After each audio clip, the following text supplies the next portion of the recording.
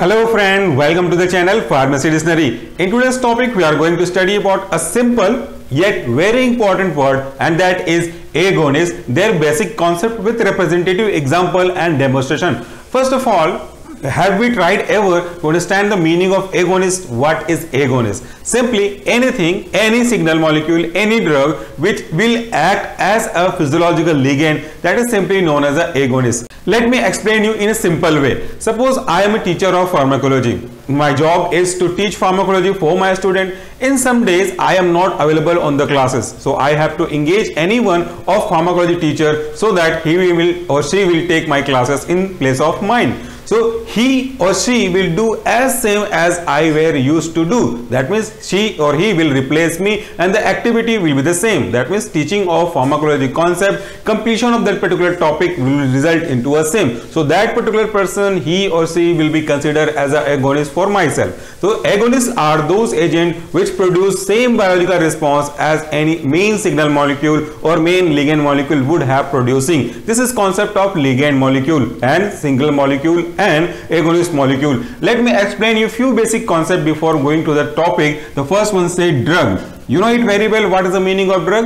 Any agent, any chemical agent which is either used for diagnosis, prevention or treatment of any disease or any disorder is simply considered as a drug. Now second word is receptor. What is the meaning of receptor? This is not exactly classes of receptor. Just I am going to explain you the simple meaning of this term. We have to see the receptor in a complete way. So any molecule or any macromolecule I would say which is available either on the surface of cell or inside the cell and it is used to perform a recognition to the signal molecule or drug molecule so that it will produce a biological or pharmacological response that is simply known as a receptor. According to their availability, it may be either available on the surface or inside the cell. So that is a different classification of receptor and that is the topic of next Uh, next unit. So what is these two things? Whenever any drug combined with the respective receptor, there only there is a formation of drug receptor complex and then only they will produce their desirable or biological or pharmacological activity. In this equation, drug plus receptor is equal to drug receptor complex. As you can see, a alone drug cannot produce any of the activity, neither desirable nor undesirable.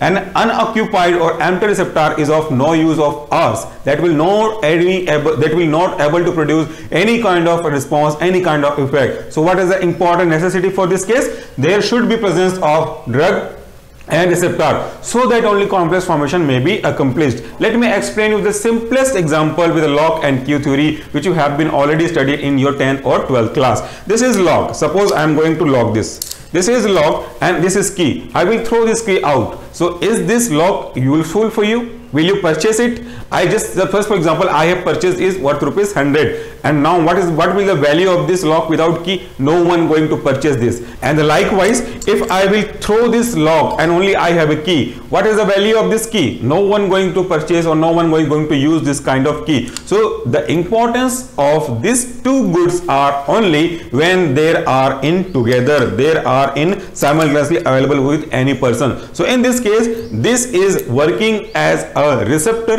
and this is working. That means key is working as a ligand or in case of today's topic it is working as a agonist. So then whenever this is a binding site. Receptor means generally a binding site recognizing site. That's it. So whenever any signal molecule whenever any ligand molecule or whenever uh, agonist comes toward the receptor binding site that will occupy this place then will they will form a drug receptor complex then only their biological activity will be accomplished and we will have any pharmacological or desirable or sometimes undesirable activity too. So this is basic equation regarding the agonist concept. Later on video we will see about the antagonists, their competitive antagonists and non-competitive antagonists too. So let's move further. What is the meaning of agonist? Which support or favor the action of ligand or signal is called agonist in our body there are so many natural chemicals available like acetylcholine norepinephrine etc etc these all are working very fine if we are healthy. All these are getting occupied with their respective receptor producing their biological response. In how in some case if there is a lack or absence of that particular chemical or signal molecule that particular assigned work will be hampered. And to make a proper balance and make the condition normal like uh, earlier we have to produce that same effect. And that effect can be produced by giving a drug. So that drug is working as a agonist for that chemical substance which is now not available or not available in a sufficient quantity. So any agent that will replace or support or favor that condition of the real one that is signal or ligand molecule is simply considered as a ligand molecule as I have given you the example of myself that my, my classes will be engaged by someone as who is a teacher of pharmacology not a teacher of cosmetics or any other subject. So it is necessary to work as same as the signal molecule and the result should be in a maximum value. So coming to the next point as I explain you better it binds to the receptor and produce maximal biological response. Let me clear you this line first. What is the meaning of maximal biological response?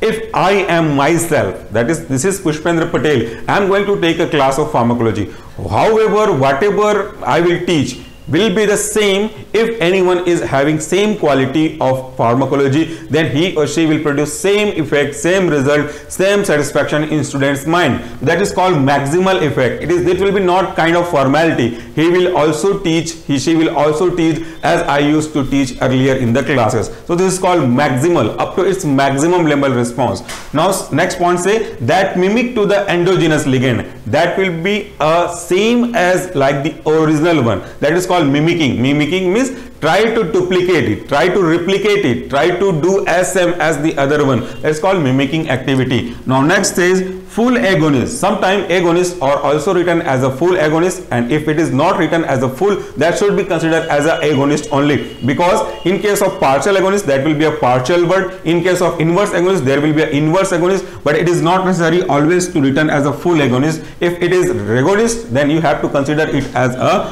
full agonist. So what is a full agonist? Full agonist, yeah, only agonist binds to the receptor, stabilize it and activate the state full agonist will go to the receptor site, bind to its binding site, make it stable make it sustained, make it favorable and then will produce its active state and the producing effect will be Emax. That is effect at its maximum level whatever we have desired will be given by the particular signal molecule. Uh, in this case of agonist that will be produced same effect as original signal or ligand molecule we are used to give. So the effect will be same like its ligand molecule. I have shown you. Now what is ligand actually? Ligand is a substance which occupy the receptor binding site and produce a biological response by producing or by forming a complex. So this is ligand molecule. Now we have to take some examples so that you will get better. I have given you the example of myself. Apart from that example, let's consider a physiological example.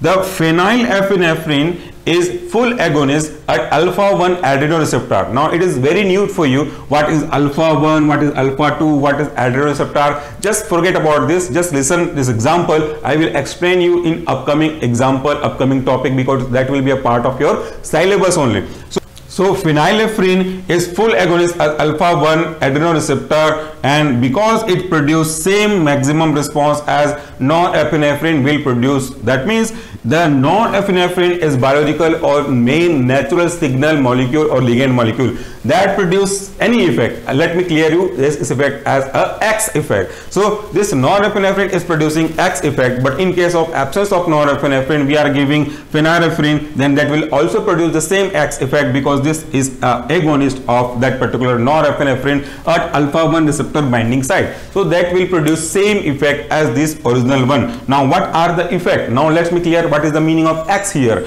So see effect of both means phenylephrine or norepinephrine the effect of both will be same as they will that means both both will do the same thing that both will increase the intracellular calcium level.